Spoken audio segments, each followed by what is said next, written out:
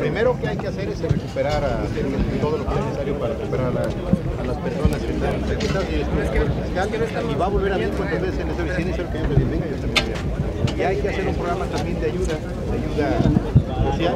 Entiendo que han tenido muchos problemas, que las tiendas están cerradas y lo estamos organizando para ayudarles.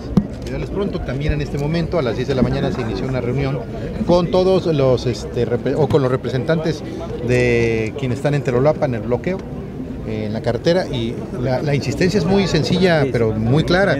O sea, nosotros nos metemos en medio con toda la determinación y con las responsabilidades que tenemos, pero tienen que quitarse ellos también de la cartera. No puede estar el ejército y la policía del Estado igual que ellos. O sea, eso no es correcto y lo deben entender, entrar en razón a efecto para que la responsabilidad del Estado realmente funcione. Están bloqueando muchos carros que vienen con apoyos en Teloluapan, que vienen a la tierra. Por eso está dialogando, por eso está dialogando. Todo lo que sea necesario para tratar de ayudar. Muchas gracias, gusto en saludarles. Gracias.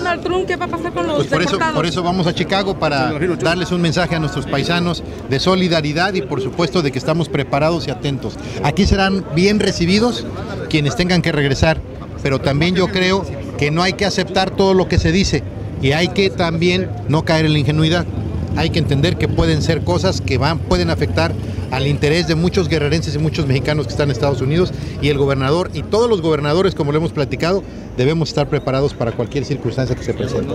Gracias, gracias, gracias, gracias.